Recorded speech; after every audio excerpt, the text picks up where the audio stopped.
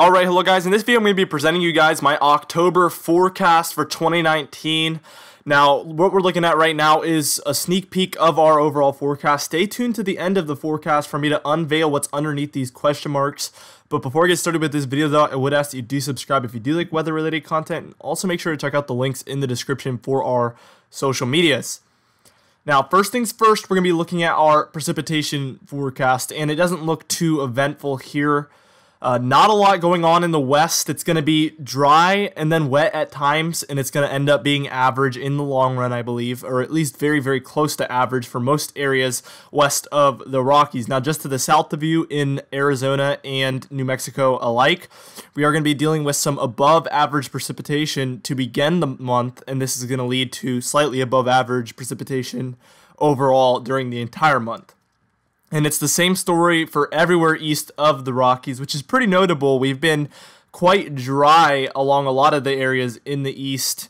Uh, so it's it's really good news that we are getting some precipitation. I've been getting a lot of people mentioning that they're wondering when the precipitation is coming to the eastern United States, and it is finally coming. And also, I would like to mention that for Texas, we do look like we will be getting a bit of precipitation, at least average amounts of precipitation this month, which is extremely good news for you guys, with the exception of some of those eastern regions and coastal regions of Texas that got impacted by Imelda.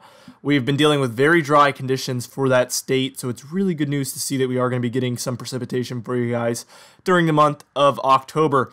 Now, I wanted to also mention that we do have our second shade of green there for the Dakotas, Minnesota, Wisconsin, Iowa. A lot of these regions are going to be dealing with even further above average precipitation. And really, it looks like the extent of above average precipitation and consistency is what really sets these states apart. Uh, on all different, you know, time frames during the month, it looks like they will be dealing with a lot of precipitation. So that's why they get the second shade rather than just the first. Now, moving on to our photo feature segment of the video. This is a completely new segment. I'm going to be doing these during the weekly forecast and the monthly forecast.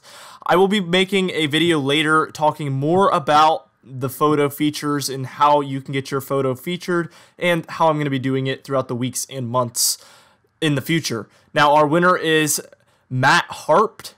27. I yeah. So you can go follow him. I'm going to be shouting out everybody obviously that I do make these for. So you can go follow him if you want. He has a excellent photo here of at Billings Logan International Airport and we see a beautiful airplane there with a rainbow behind it. This was my favorite photo that got sent in in the month of September. Uh, but if you would like your photo to possibly be featured during the weekly forecast and the monthly forecast, you have to tag our link in the description as well as the pinned comment. You have to tag us in the photo, and we will be selecting three each week during the weekly forecast and be presenting those, and then one at the end of the month, which is the overall winner in my favorite photo during the entire month.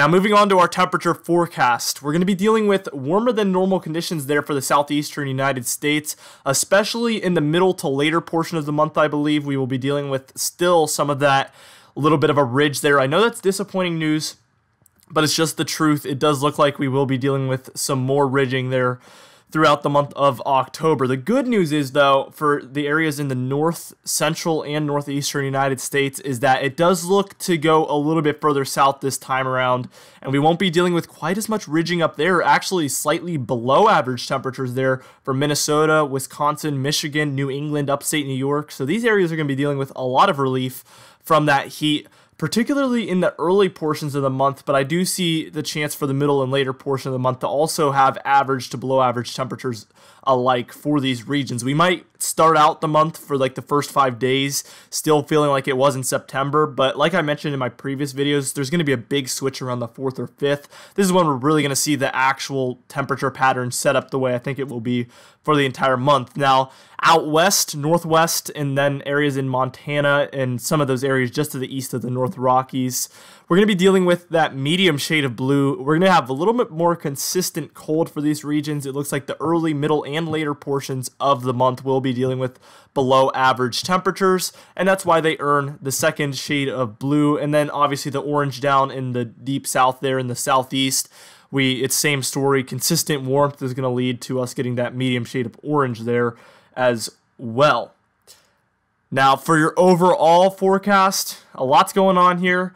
Uh, we're going to start with the West, though. In that gray region for California, Nevada, Utah, we're going to be dealing with average conditions as far as temperatures and precipitation is concerned. Not a lot to note there, so that's why they're in the average area there. But to your pink region there, to your northwest, we're going to be dealing with cooler with storminess at times the storminess doesn't seem quite consistent, but I do think that we will be dealing with multiple potent storms throughout the month.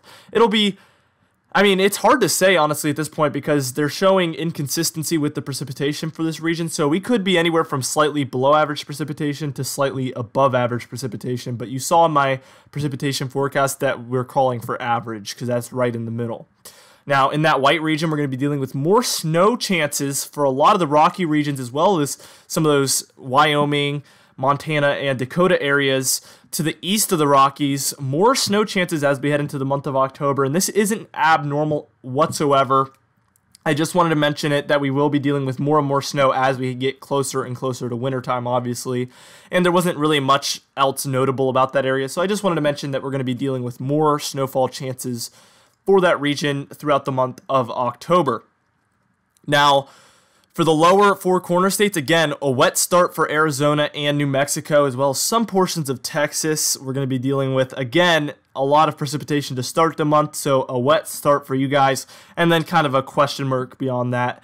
I don't really think we'll be dealing with too much more above average precipitation after that, but at the end of the month, it will come out above average, or at least slightly above average. Now, for Texas and a little bit of Oklahoma, there, we're going to be seeing some drought relief. Eh, again, at least average precipitation, maybe even above average precipitation for this region, which is extremely good news because I've been hearing a lot of you complain about it being dry for months and months and months for Texas. So, we're looking at some significant relief from that. Now to your north, cooler first half in that light blue region, and then the later half, we it's kind of a question mark once again. Models are leaning towards it warming up in the second half. I think that it could go either way. It could be cooler for the second half or warmer for the second half, but we're gonna lean towards just a cooler first half, and then we'll we'll see once we get there for the second half of the month, as it's so inconsistent what the models have been showing for this region. In the southeast, warmer but wet. So there's good news and bad news. A lot of you have been complaining about how dry it's been and how warm it's been. We, it's still going to be warmer, but we will be seeing it get uh, more precipitation. So there is some good news, even though we have some bad news as well for you guys. Now, in the north central, Great Lakes, and northeastern regions of the United States, we're going to be dealing with cold shots throughout the month. I can see that obviously from the 4th through the 10th, we will be dealing with some significant cool shots for early October. And then beyond that, it looks like we will be dealing with average to below average temperatures throughout the rest of the month. So there will be cold shots at times for all of these regions. And it's going to be significantly cooler than September was comparatively to normal because September was, you know, far above average for these regions. So it, it's going to be a significant difference from what you've been feeling for the past month before this. And then for the interior New England and upstate New York regions, we're going to be dealing with possibly some snow in later portions of October. We do see that sometimes. So I just wanted to mention that this is going to be this month is going to be when we probably see our first chances at at least flurries for that region and maybe even some light accumulations in some of the high elevations out there. It does happen sometimes. So I wanted to mention that that we might be dealing with that as we head into the later portions of this month especially. Now, our month review, which is another uh, new segment for the monthly forecast, we're going to be reviewing the most significant weather events that took place during the month. A, I forget what their name was, but somebody mentioned this to me in my Instagram DMs. They made this great suggestion. So I'm going to be doing these from now on in the monthly forecast and seasonal forecast, doing a month and seasonal reviews so we're going to be starting out with Dorian. Here we're looking at the satellite imagery from Dorian. And the reason I'm doing these segments is because I feel like it's going to be good just to be able to remember everything that happened in the month. And if you ever look back at these monthly forecasts, you'll be able to be like, oh yeah, Dorian did happen during September of 2019. I mean, obviously we will never forget that, but uh, for less significant things, it will be um, interesting to just go back and remember. So here's satellite imagery of Dorian as it was a Category 5 status hurricane over Grand Bahama and Great Abaco. Absolutely devastated these two islands, particularly, and affected the, the southeast and mid Atlantic states of the United States as well, but nowhere near as much as it did uh, the Bahamas, obviously. As you can see, here was our forecast. our five day forecast when it was over the Bahamas. And this did have significant impacts on Florida, Georgia, South Carolina, North Carolina, Virginia, and I think even Maryland, Delaware, and New Jersey potentially. Uh, but I know for Virginia at least is the at least that's how far north it got. And uh, we were dealing with wind, rain along the southeast, but the Bahamas. Here's some pictures of some damage.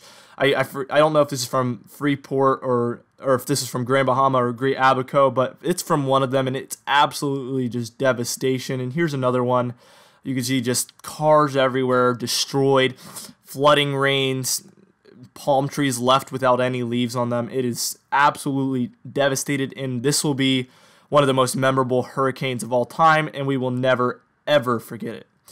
Also, Tropical Storm Imelda impacted regions in Texas this month around Tuesday, September 17th. It started, it headed onshore, and this brought significant flooding. Here was the NAM 3 km total uh, precipitation forecast 60 hours out. And this one, the NAM had a great handle on this. Uh, 24 inches plus is definitely what we saw for a lot of those regions in Texas. So again, we will always remember this one as well as it was one of the top five wettest tropical cyclones I think of all time, at least for the United States. So it was significant flooding for Texas. And then for our third month review and our final one, we're going to be dealing with a major Montana and Idaho blizzard, maybe even Wyoming. For to end to close out the month of September, we're going to be dealing with potentially up to 50 inches of snow for Montana and 12 inches plus for you know high elevation areas in Washington, Oregon, California, Wyoming, Utah. Uh, so significant snowfall for this early in the season, particularly the areas in Montana getting 50 inches. That is significant no matter what time of year it is. 12 inches in those other states isn't completely unheard of, but 50 inches in Montana is just absolutely insane. Even if it's only like, you know, 30 inches plus, it's just going to be such a such a significant blizzard type event. Anyway, guys, I hope you enjoyed this video. Again, send in your photos and videos to the Instagram, tag us in them, and you could be featured in next month's photo feature as well as our weekly photo feature. We're going to pick the top three from each week and do those as well. So, anyway, guys, thank you so much for watching, and I'll see you guys in the next video.